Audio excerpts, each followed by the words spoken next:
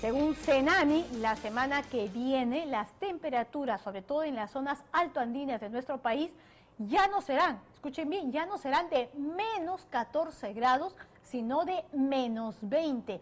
Según esta misma oficina, incluso en algunas zonas como en las alturas de Tacna, esta podría descender incluso hasta menos 24 grados, agravando aún más la salud, la vida precaria de muchísimos peruanos para quienes a su situación de extrema pobreza se suma, cual maldición, los efectos terribles de las heladas. Panorama estuvo esta semana, estuvo la semana pasada en el pueblo de Capazo, en Puno, y esta estuvo en Tacna, en los pueblos de Río Caño y Alto Perú, Cayapuma, donde llegaron para precisamente traernos el siguiente reportaje.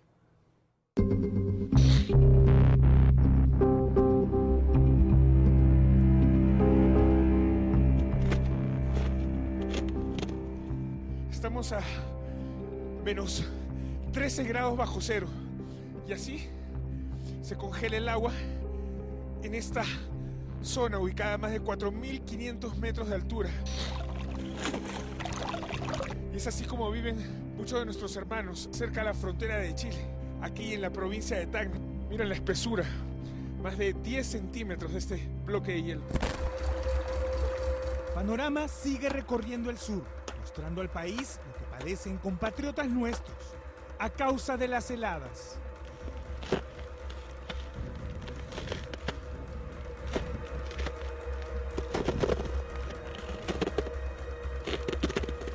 Lo más preocupante en esta zona de Alto Perú es que este bofedal que sirve para poder darle de beber a las alpacas, que es el principal sustento de estas familias aquí a esta altura, aquí en Tacna, ha quedado así, Miren, totalmente congelado. Miren cuando camino, como el agua que sirve para poder beber, para poder alimentar a las alpacas, ha quedado así. es increíble. Niños y adolescentes de diversos distritos y centros poblados del altiplano en sufriendo los embates del crudo invierno. extrema pobreza sumada al completo olvido del Estado. ¿Qué le ha pasado a la pequeña Dayana de tres añitos en su mejilla que está así como cuarteado? Es por el frío. Acá hace mucho frío, por eso está en su cara así, rajadito. Mira Jimmy cómo está la mano de la pequeña Dayana. Tiene solo tres añitos y su mano está así, así cuarteada, producto de las heladas tan fuertes que hay acá. ¿Hace mucho frío en la noche? Sí. Mucho. La cama que ha acomodado acá la mamacha para sus pequeños es piedra, ¿no? Son piedras juntas, mira. Mira, acá no hay catre, no hay un tipo de colchón, mira. Son piedras. Piedras, mira. Piedras que han sido acomodadas acá. Esta es la, la realidad de cómo viven aquí en esos distritos del altiplano de Tacna. Mira ahí, increíble. Una cama de piedra, mira. Cama de piedra, un colchón que es apenas así delgadito. Y de ahí a poner frazaditas, ¿no? Mira. Una, dos, tres, cuatro. Una alarmante realidad a puertas de la temporada de heladas más extrema, con temperaturas que según el propio Cenami podrían alcanzar los 20 grados bajo cero las próximas semanas. En cuanto a la helada, yo creo que va a afectar fuertemente porque recién estamos todavía en mes de junio, porque esta temporada a veces cae nevada. Y acá más que todo se perjudican los niños, ¿no?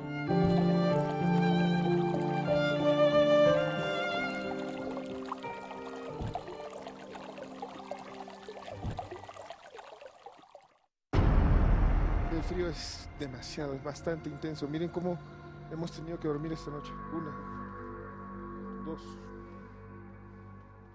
tres, cuatro frazadas y hemos tenido que poner una para cubrir la colchoneta que está encima del, del catre. Pero nosotros estamos vestidos con doble pantalón, miren, y zapatos. Las luces de la camioneta se combinan con la oscuridad. Nuestro objetivo, llegar hasta la estancia de Humalso. Bueno, Jimmy, hemos llegado hasta un anexo cerca a más o menos media hora del centro poblado de Alto Perú. Acá estamos con nuestro amigo Ignacio Cruz. ¿Cómo estás? Ignacio nos recibe y nos invita a comprobar la precaria situación en la que vive junto a sus nietas. Hola.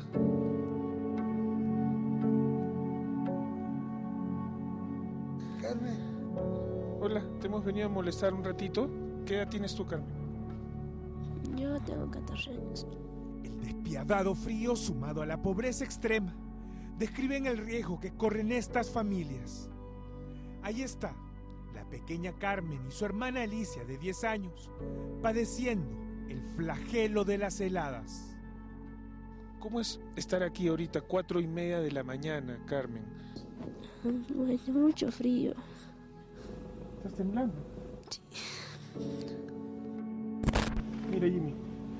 Acá han puesto un plástico, parece una colchoneta, y después le han puesto un forraje de, de lanita, ¿no? Y después, ¿cuántas frazadas tienes, Carmen, ahorita? Unos cuatro. Esta es una, dos, tres, cuatro y esta mantita cinco. ¿Qué pedirías tú para que pueda venir más apoyo, ayuda, Carmen? Tú que estás tan jovencita, ¿no? Para que puedas estar abrigada, no vivir así. Pueden traer chompas, mantas, más camas. ¿Con quién vives aquí? ¿Este es tu cuarto? Su sí, ¿Tu hermano dónde está? ahorita. Hola. ¿Cómo estás, Alicia? Bien. Ustedes dos du- duermen aquí. Sí. De pronto, somos testigos de cómo se vive en medio de la miseria y el abandono. ¿Y qué tienes aquí? ¿Qué es eso? ¿Esto? Sí. Es la cabeza de un alpaco. ¿Qué es? Es la cabeza porque mi tía ya carneó. Sí, mira, y ahí está la sangre al costado de lo que han carneado. Acá está un poco la parte de la cocina, las vísceras, ¿no? Mira, del animal que acaban de, de matar, mira acá. Parte de la columna. De aquí junto a la cama de las niñas. Mira, Una mesita. Techo de calamina, completamente la. Acá con el frío baja, pues Ignacio, ¿no? Sí, Esto baja. No han puesto nada más para cubrir acá. No, eso es que tenemos todos, acá viven así en los caseríos.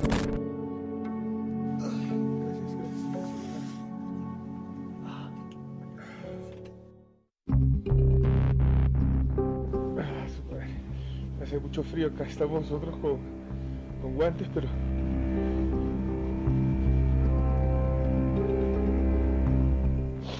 Pero estamos muriendo de frío.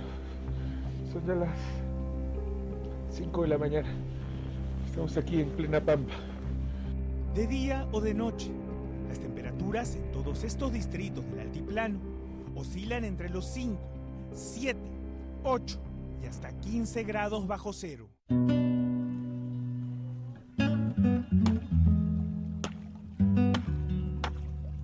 Miguel Ángel de 6 y su hermanito Antonio de 5 años parecen no entender aún que las heladas llegaron que esos pastizales donde jugaban hoy están cubiertos de ese inclemente hielo que todo congela, que todo destruye.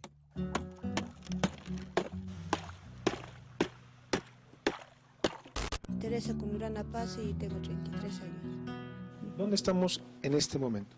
Acá en Callapuma, pues, ¿Con quién vives tú? con cinco hijos nomás.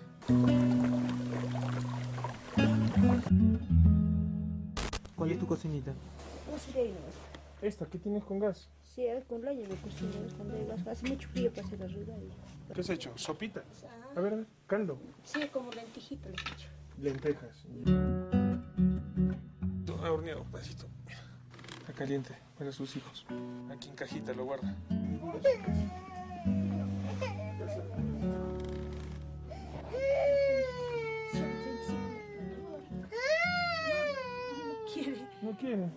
Pero ella, ¿así anda descalcita? Su ojotita le pongo. ¿Y tu otro hijito? ¿Dónde está? Wow. La vida de Teresa y sus cinco hijos se reduce a un ambiente que apenas supera los cuatro metros cuadrados con techo de calamina. La cama que ha acomodado acá la mamacha para sus pequeños es piedra, ¿no? Sí. Son piedras juntas, mira. Esta es la realidad de cómo viven aquí en esos distritos del altiplano de Tacna. Mira ahí, increíble. Pero lo más indignante estaba por venir. Jimmy, estamos a menos de 20 metros de la casa de Teresa y sus cinco hijos. A mi derecha, el centro médico de Cayapuma. Centro de salud, aquí en uno de los poblados más altos de la Sierra de Tacna, cerrado. ¿Qué pasa si hay una emergencia con los hijos de Teresa, por ejemplo? ¿A dónde tienen que ir? Si su centro de salud está así, Completamente cerrado. En otro ambiente, más papeles tirados y el recipiente con vacunas en el piso. Mira cómo está. Mira. Registro de pacientes, de mordeduras, todo en el piso. Los cuadernos en el piso. Y aquí, sobre este escritorio, naproxeno y un par de cajas más de medicamentos, una jeringa, tirados en esa mesa. Si esto ocurre en el distrito de Cayapuma, en Río Caño, la situación del centro de salud es muy similar. ¿Qué tal? ¿Cómo estás? Julio Chuquitaipa, soy reportero de Panorama de Canal 5 de Lima. ¿Qué cargo tienes aquí en el puesto ese? Ah, yo soy la obstetriz de Río Caño. ¿Dónde está el médico a cargo del puesto ese? En estos momentos tiene libre. Si hubiera una emergencia que requiere la atención de un médico, ¿cómo haríamos?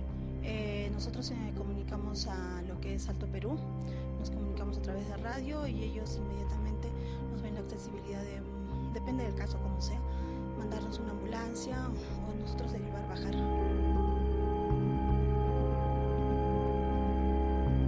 Mira, Jimmy, este es el área de enfermería. Sí. Estaría la enfermera. La enfermera es acá. Ah, también tiene sus días libres justamente el...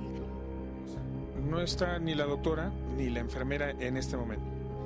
Sí, en estos momentos no. Sin doctor, sin enfermeras, solo un obstetra a cargo de la atención médica de más de 300 familias de este centro poblado.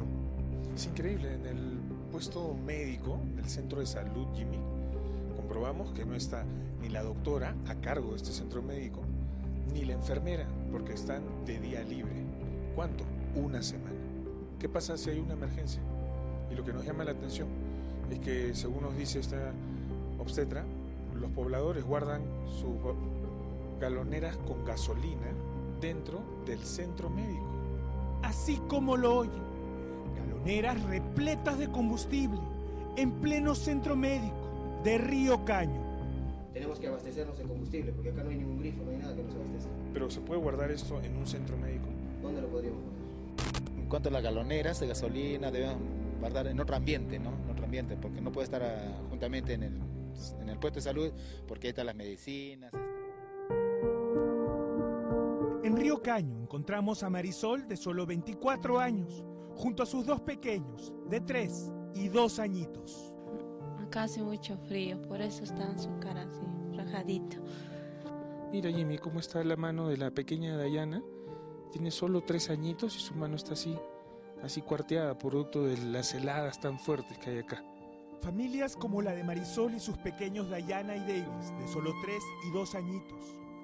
O la de Teresa, con sus cinco hijos, viviendo en precarias condiciones de pobreza extrema. Necesitan de toda nuestra ayuda para poder enfrentar las terribles heladas que ya están golpeando sin clemencia alguna, dejando a diversos distritos altoandinos a merced de este flagelo.